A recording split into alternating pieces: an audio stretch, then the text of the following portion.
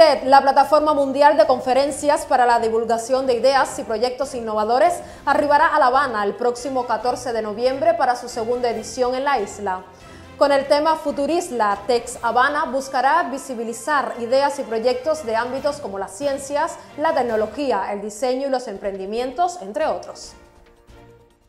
El evento tendrá lugar en el Teatro Nacional, con capacidad para más de 2.000 asistentes y se realizará gracias a la gestión del productor musical Andrés Levín, la cantante y actriz Cucu Diamantes y el actor y director de cine Jorge Perugorría.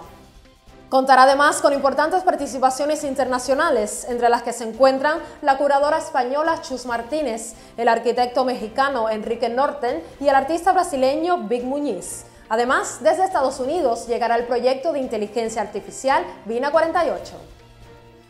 Igualmente, por Cuba participará el músico y compositor Alain Pérez, uno de los desarrolladores del medicamento Everprot P, Manuel Raíces, el científico Fernando Funes, el doctor Gustavo Fleites y el músico Amaury Pérez, quien será presentador del evento. Según lo anunciado en la rueda de prensa en La Habana, las charlas TED cuentan con un amplio número de seguidores entre diferentes grupos juveniles, por lo cual la preparación del evento de este año incluirá la participación de conferencistas con temas como el videogaming y las redes digitales en Cuba y el uso de las tecnologías en función del conocimiento.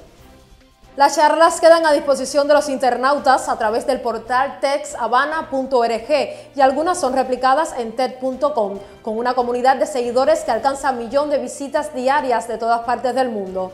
Sin duda, una muy buena opción para captar ideas de los más experimentados. Desde Cibercuba TV para todos ustedes, soy Arelis Grau.